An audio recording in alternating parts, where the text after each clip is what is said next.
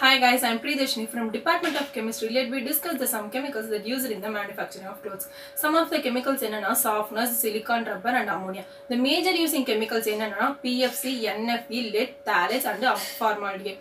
First நம்ம தாலிட்ஸை பற்றி பார்ப்போம் தாலிட்ஸோட பர்பஸ் என்னன்னா டெக்ஸ்டைல் இண்டஸ்ட்ரீஸில் வந்து தாலிட்ஸ் வந்து பிளாஸ்டிசல் பிரிண்டிங்காக யூஸ் பண்ணுறாங்க அதோட ரப்பர் ப்ராடக்ட் வந்துட்டு டிஷர்ட்ஸில் இருக்கக்கூடிய லோகோஸை கிரியேட் பண்ணுறதுக்கு யூஸ் பண்ணுறாங்க அண்ட் அதோட இம்பாக்ட் என்னன்னா நம்மளோட ஹார்மோன் லெவல்ஸை வந்து அஃபெக்ட் பண்ணி நமக்கு வந்து பிரஸ்ட் கேன்சரை வந்து உண்டாக்குது. நெக்ஸ்ட் வந்து லெட் லெட்டோட பர்பஸ் என்னன்னா ஃபேப்ரிக் பிரிண்டிங்காக லெட் யூஸ் பண்றாங்க. பிரைட் கலர்டு ப்ராடக்ட்ஸ்ல வந்துட்டு லெட் வந்து மேஜரா ப்ரெசென்ட் ஆயிருக்கும்.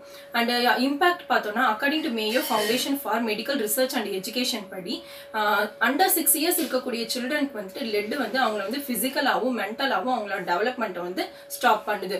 அண்ட் ஃபார்மால்டிகேட் ஃபார்மால்டிகேட் வந்து நேச்சுரலாக கிடைக்கக்கூடிய கெமிக்கல் சப்ஸ்டன்ஸ் தான்.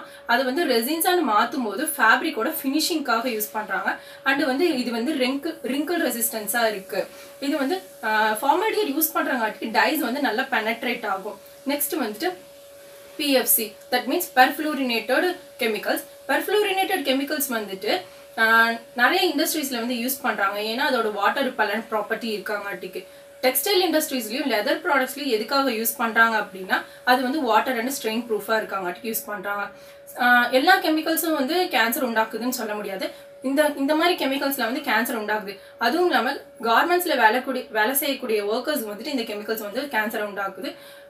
இந்த மாதிரி புதுசாக எடுக்கக்கூடிய ஃபேப்ரிக்ஸை வந்துட்டு நம்ம வந்து வாஷ் பண்ணிட்டு யூஸ் பண்ணுறது better As Akim is, I am proud to share this video. Thank you all.